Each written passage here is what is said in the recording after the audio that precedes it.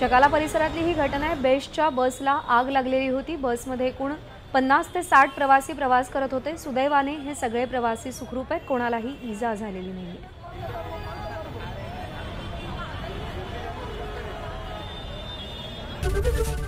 ABP माझा. उघडा डोळे बघा नीट.